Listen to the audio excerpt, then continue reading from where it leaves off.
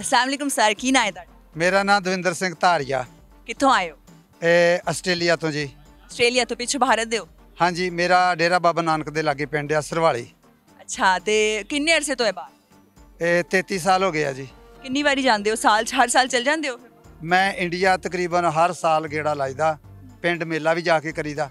ਉਹ ਮੇਲੇ ਦੇ ਵਿੱਚ ਅਸੀਂ ਬੱਚਿਆਂ ਤੋਂ ਬਜ਼ੁਰਗਾਂ ਤੱਕ ਮੇਲ ਫੀਮੇਲ ਦੋਨੋਂ ਪਾਰਟਿਸਿਪੇਟ ਕਰਦੇ ਆ। ਦੋਨੋਂ ਪਾਰਟਿਸਿਪੇਟ ਗਿੱਧਾ ਵਿਦਾ ਪਾਉਂਦੇ ਹੋ? ਗਿੱਧਾ ਭੰਗੜਾ ਫਿਰ ਉਹਦੇ ਚ ਪੁਰਾਣੀਆਂ ਖੇਡਾਂ ਜਿਹੜੀਆਂ ਨੇ ਉਹ ਵੀ ਕਰਵਾਈ ਦੀਆਂ ਨੇ।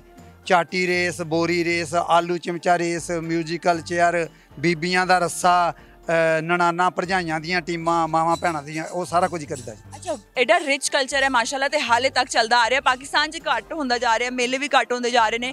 ਇੰਡੀਆ 'ਚ ਉਸੇ ਤਰੀਕੇ ਨਾਲ ਹੋ ਰਿਹਾ ਜਾਂਦਾ ਪਹਿਲੇ ਇੰਡੀਆ ਦੇ ਵਿੱਚ ਉਸੇ ਤਰ੍ਹਾਂ ਤੇ ਉਹਦੇ ਤੋਂ ਵੱਧ ਆਸਟ੍ਰੇਲੀਆ ਦੇ ਵਿੱਚ ਹੋ ਰਹੇ ਜੀ। ਜਿੰਨੀ ਪੰਜਾਬੀ ਕਮਿਊਨਿਟੀ ਬਾਹਰਲੇ ਮੁਲਕਾਂ ਦੇ ਵਿੱਚ ਆ ਉਹਨਾਂ ਨੇ ਆਪਣੇ ਕਲਚਰ ਨੂੰ ਪੂਰਾ ਜੱਫਾ ਮਾਰ ਕੇ ਰੱਖਿਆ ਹੋਇਆ। ਤੇ ਤੁਸੀਂ ਕਿਤੇ ਤੁਹਾਡਾ ਗੇੜਾ ਲੱਗੇ ਤੁਸੀਂ ਦੇਖੋ ਉੱਥੇ ਵੀ ਲੋਕ ਜਿਹੜੇ ਨੇ ਉਹ ਕਿੰਨੇ ਪਿਆਰ ਦੇ ਨਾਲ ਕਿੰਨੀ ਸ਼ਿੱਦਤ ਦੇ ਨਾਲ ਉਹ ਖੇਡਾਂ ਤੇ ਆਪਣੇ ਕਲਚਰ ਨੂੰ ਪੂਰੇ ਵਧੀਆ ਤਰੀਕੇ ਨਾਲ ਪਰਫਾਰਮ ਕਰਦੇ ਆ। ਹਾਂਜੀ। ਪੂਰੇ ਵਧੀਆ ਉਹ ਤੇ ਫਿਲਮਾਂ 'ਚ ਸਾਨੂੰ ਦਿਸਦਾ ਵੀ ਹੈ ਹਰ ਵੇਲੇ ਜਿਹੜਾ ਬੜਾ ਰਿਚ ਕਲਚਰ ਹੁੰਦਾ ਹੈ ਉਹੀ ਲਿਬਾਸ ਜਿਹੜਾ ਪਹਿਲੇ ਪਾਇਆ ਜਾਂਦਾ ਸੀ ਉਹੀ ਪਾਇਆ ਜਾਂਦਾ ਸੀ ਪੱਗ ਜ਼ਰੂਰ ਬੰਨੀ ਜਾਂਦੀ ਹੈ। ਤੇ ਮੈਨੂੰ ਇਹ ਦੱਸੋ ਪਾਕਿਸਤਾਨ 'ਚ ਤੁਸੀਂ 3 ਤਰੀਕ ਨੂੰ ਆਏ ਹਾਂਜੀ। 3 ਤਰੀਕ ਨੂੰ ਆਏ ਸੀ ਤੁਹਾਨੂੰ ਪਤਾ ਮੈਂ ਕਿੱਥੇ ਆਇਆ? ਕਿੱਥੇ ਆਏ ਤੁਸੀਂ ਦੱਸੋ ਹੀਰ ਜਿਹੜੀ ਉਹ ਕਿੱਥੋਂ ਦੀ ਸੀ? ਕਸੂਰ ਕੀ? ਨਹੀਂ ਸੌਰੀ ਕਹਾਂ ਕੀ ਹੈ? ਹੀਰ ਕਿੱਥੋਂ ਦੀ? ਪੰਜਾਬ ਸ਼ੇਖੂਪੁਰਾ। ਦੀ। ਉਹ ਪੰਜਾਬ ਦੀ ਸੀ। ਮਿਰਜ਼ਾ ਸਾਹਿਬਾਂ ਕਿੱਥੋਂ ਦਾ ਸੀ? ਪੰਜਾਬ ਦਾ। ਅਸੀਂ ਵੀ ਉਸੇ ਪੰਜਾਬ ਚ ਆਏ। ਤੁਸੀਂ ਪੰਜਾਬ ਅੱਛਾ ਮੈਂ ਸਮਝੀ ਤੁਸੀਂ ਸ਼ਹਿਰ ਪੁੱਛ ਰਹੇ ਹੋ। ਅੱਛਾ ਮੈਨੂੰ ਇਹ ਦੱਸੋ ਕਿ ਪਾਕਿਸਤਾਨ 'ਚ ਸਭ ਤੋਂ ਚੰਗੀ ਚੀਜ਼ ਸਾਨੂੰ ਕੀ ਲੱਗੀ? ਕਹਿੰਦਾ ਦਾ ਐਕਸਪੀਰੀਅੰਸ ਵੇਖੋ ਇਹ ਕੁਦਰਤ ਨੇ ਸਾਰਾ ਸੰਸਾਰ ਰਚਿਆ। ਸਾਨੂੰ ਇਨਸਾਨੀਅਤ ਜਾਮਾ ਦਿੱਤਾ। ਸਾਰੇ ਸੰਸਾਰ ਦੇ ਵਿੱਚ ਚੰਗੇ ਲੋਕ ਵੀ ਆ, ਮਾੜੇ ਵੀ ਹਰ ਕਿਸਮ ਦੇ ਆ।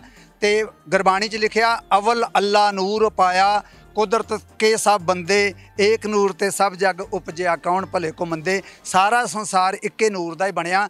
ਗੱਲ ਆ, ਕਿਸੇ ਨੂੰ ਸਮਝ ਲੱਗਦੀ, ਕਿਸੇ ਨੂੰ ਨਹੀਂ ਲੱਗਦੀ। ਬਹੁਤ ਹੀ ਚੰਗੀ ਗੱਲ ਕੀਤੀ, ਵਾਕਈ ਕਿਸੇ ਨੂੰ ਸਮਝ ਲੱਗਦੀ ਹੈ, ਕਿਸੇ ਨੂੰ ਨਹੀਂ ਲੱਗਦੀ।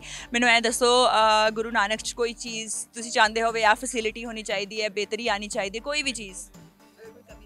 ਇਹ ਕਮੀ ਇਦਾਂ ਜੀ ਵੀ ਅਸੀਂ ਚਾਹੇ ਉਹ ਈਸਟ ਪੰਜਾਬ ਆ, ਚਾਹੇ ਵੈਸਟ ਪੰਜਾਬ ਆ, ਅਸੀਂ ਕੋਠੀ ਬਹੁਤ ਵੱਡੀ ਪਾ ਲੈਨੇ ਆ, ਪਰ ਜਿਹੜੇ ਬਾਥਰੂਮ ਟਾਇਲਟ ਆ ਉਹ ਉੱਥੇ ਸਲਿੱਪਰੀ ਰਹਿੰਦੀ ਆ, ਉਹ ਤੁਸੀਂ ਜਿੱਥੇ ਮਰਜ਼ੀ ਚੱਲ ਜਾਓ, ਉਹ ਉਹਨੂੰ ਮੇਨਟੇਨ ਕਰਨਾ ਵੈਰੀ ਇੰਪੋਰਟੈਂਟ ਭਾਵੇਂ ਉਹ ਗੁਰਦੁਆਰਿਆਂ 'ਚ ਹੋਵੇ, ਭਾਵੇਂ ਮੰਦਰਾਂ 'ਚ ਆਏ ਮਸਜਿਦ ਦੇ ਵਿੱਚ ਆ, ਜਿਹੜੀ ਟਾਇਲਟ ਫੈਸਿਲਿਟੀ ਆ, ਤੇ ਉਹ ਸਫ਼ਾਈ ਆ, ਉਹਦੀ ਬਹੁਤ ਘਾਟ ਆ। ਵਾਕਈ ਟਾਇਲਟ ਤੋਂ ਬਿਮਾਰੀਆਂ ਵੀ ਸਭ ਤੋਂ ਜ਼ਿਆਦਾ ਫੈਲਦੀਆਂ ਨੇ ਟਾਇਲਟ ਸਾਫ਼ ਹੋਣੇ ਚਾਹੀਦੇ ਨੇ ਤੇ ਜਿਸ ਘਰ ਦੇ ਟਾਇਲਟ ਤੇ ਕਿਚਨ ਸਾਫ਼ ਹੋਣ ਨਾ ਉਹੀ ਘਰ ਸਫ਼ਾਈ ਸਾਫ਼ ਮੰਨਿਆ ਜਾਂਦਾ ਹੈ। ਵੈਸੇ ਕਿਹਾ ਵੀ ਜਾਂਦਾ ਹੈ ਕਿ ਘਰ ਦੇ ਟਾਇਲਟ ਤੇ ਕਿਚਨ ਵੇਖ ਲਓ ਤੇ ਪਤਾ ਲੱਗ ਜਾਏਗਾ ਕਿੰਨੇ ਸਾਫ਼ ਲੋਕ ਨੇ। ਮੈਨੂੰ ਇਹ ਦੱਸੋ ਤੁਹਾਡਾ ਬੇਟਾ ਵੀ ਸਿੰਗਰ ਹੈ। ਹੁਣ ਤੁਸੀਂ ਪਾਕਿਸਤਾਨ 'ਚ ਵੀ ਆਏ ਹੋਏ ਸਾਨੂੰ ਵੀ ਇੱਕ ਗਾਣਾ ਸੁਣਾ ਦਿਓ। ਤੁਸੀਂ ਤੁਹਾਡੀ ਵੀ ਆਵਾਜ਼ ਚੰਗੀ ਹੋਏਗੀ ਨਾ ਬੇਟੇ ਦੀ ਚੰਗੀ ਹੈ ਗਾਣਾ ਸੁਣਾ ਦਿੰਨੇ ਆ ਜੀ। ਸੁਣਾਓ ਬੋਲੀਏ ਪੰਜਾਬ ਦੀਏ ਜੁਗੋ ਜੁਗ ਜੀਵੇ ਤੇਰਾ ਨਾਂ ਬੋਲੀਆਂ ਦੇ ਰੁੱਖ ਤੇ ਬਥੇਰੇ ਭਾਵੇਂ ਹੋਣਗੇ। ਨੀ ਬੋੜ ਨਾਲੋਂ ਠੰਡੀ ਤੇਰੀ ਸ਼ਾਨ। ਉਹ ਜਿਹਨੂੰ ਲੋਕੀ ਕਹਿਣ ਪੰਜਾਬੀ ਪੰਜ ਦਰਿਆ ਦੀ ਬੋਲੀ। ਗਦਾ ਪਾਓ ਜਿਹਨੂੰ ਲੋਕੀ ਕਹਿਣ ਪੰਜਾਬੀ ਪੰਜ ਦਰਿਆ ਦੀ ਬੋਲੀ।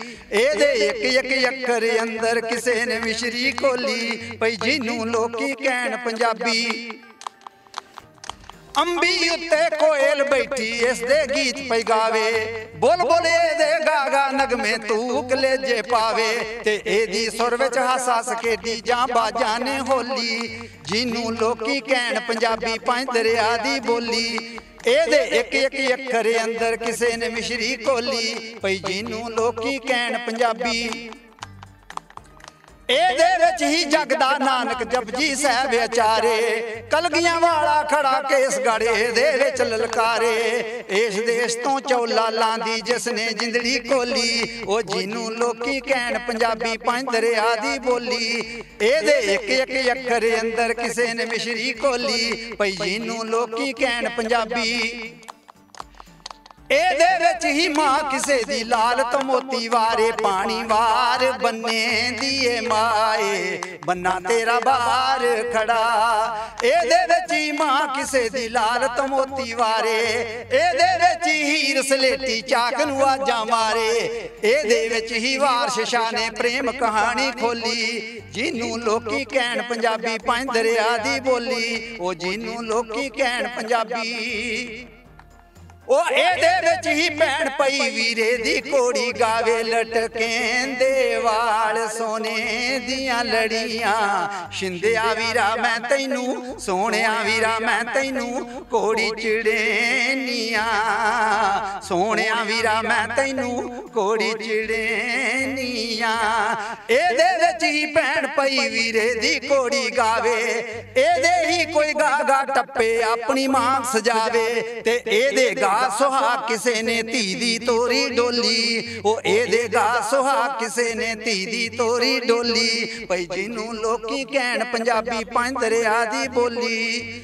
ਉਹ ਯਮਲੇ ਜੱਟ ਨੂੰ ਮਾਣੇ ਦੇ ਤੇ ਮੁੜ ਮੁੜ ਇਹਨੂੰ ਗਾਵੇ ਤੇ ਤਖਤਾਂ ਵਾਲੀ ਦੇ ਸਿਰ ਉੱਤੋਂ ਮੋਤੀ ਪਿਆ ਲਟਾਵੇ। ਭਈ ਇਹਦੀ ਸਾਰ ਕਿਸੇ ਨਹੀਂ ਜਾਣੀ, ਇਹ ਹੈ ਆਲੀ ਬੋਲੀ, ਜਿਹਨੂੰ ਲੋਕੀ ਕਹਿਣ ਪੰਜਾਬੀ ਪੰਜ ਦਰਿਆ ਦੀ ਬੋਲੀ। ਇਹਦੇ ਇੱਕ ਇੱਕ ਅੱਖਰ ਅੰਦਰ ਕਿਸੇ ਨੇ ਮਿਸ਼ਰੀ ਕੋਲੀ ਭਈ ਜਿਹਨੂੰ ਲੋਕੀ ਕਹਿਣ ਪੰਜਾਬੀ ਪੰਜ ਦਰਿਆ ਦੀ ਬੋਲੀ। ਓ ਪੰਜ ਦਰਿਆ ਦੀ ਬੋਲੀ, ਬਹੁਤ ਹੀ ਮਾਸ਼ਾਅੱਲਾ ਤੁਹਾਡੀ, ਬਹੁਤ ਚੰਗੀ ਆਵਾਜ਼ ਹੈ। ਥੈਂਕ ਯੂ ਸੋ ਮਚ ਤੁਸੀਂ ਸਾਨੂੰ ਗਾਣਾ ਸੁਣਾਇਆ। ਪਾਕਿਸਤਾਨੀ ਆਵਾਮ ਨੂੰ ਕੋਈ ਮੈਸੇਜ ਦੇਣਾ ਚਾਹੋਗੇ?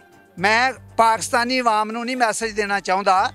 ਮੇਰਾ ਮੈਸੇਜ ਜਿਹੜਾ ਜੇ ਗੁਰੂਆਂ ਨੇ ਉਹ ਇਨਸਾਨੀਅਤ ਦਾ ਮੈਸੇਜ ਦਿੱਤਾ ਤੇ ਸਾਡਾ ਵੀ ਫਰਜ਼ ਬਣਦਾ, ਅਸੀਂ ਚੰਗੇ ਇਨਸਾਨ ਬਣੀਏ।